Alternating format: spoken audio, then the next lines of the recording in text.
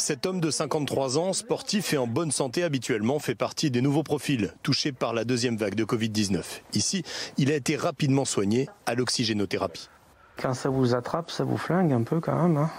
Et puis pour en sortir, euh, je pensais que j'y arriverais tout seul parce que je vais jamais voir le médecin. Mais au bout d'un moment, on s'en sort pas. Entre euh, l'oxygène, les anti-inflammatoires, les antibiotiques et l'aide de la kiné, les choses évoluent bien.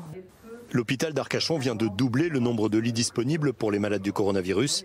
Ici, on s'attend à une arrivée importante de patients dans les trois prochaines semaines. On a un, un panel de patients qui correspond au nombre de patients qu'on avait en mars dernier, c'est-à-dire qu'on commence plus haut déjà.